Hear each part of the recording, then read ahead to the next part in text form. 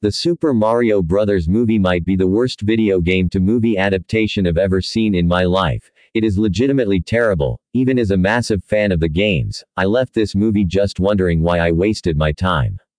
They got everything, and I mean everything wrong. Since when would Mario team up with Donkey Kong? Why would a Bowser play piano in any way, shape, or form? That was the only good part of the film who thought it was a good idea to have Chris Pratt voice probably the most iconic video game character of all time. Back to that, Chris Pratt was legitimately horrible in this role and I didn't laugh even once, heavily being carried by Jack Black and the Peaches love song. F. The title says it all. And it's definitely not only made for kids. Plenty of laughs for adults too. My favorites. Luma got me cracking with her terribly twisted mind and Dirty Bowser is really, really obsessed with Peaches.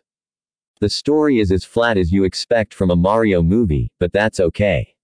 The runtime felt short, or better said, left me wanting for more. Nintendo just scratched the surface of what they could do with the Mario cinematic world. The visuals are stunning. I didn't have any expectations but it just feels like you can touch the fabric of the characters. The voices are fine. It felt natural, like it should, except for the Ape King who really sounded too young for his age. Guaranteed a great family time.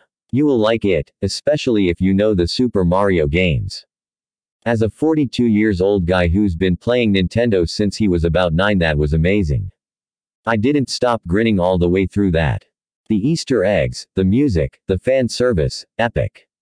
It's pretty obvious it's not gonna win any Oscars and the plot isn't going to be too heavy. It's a kid's film after all.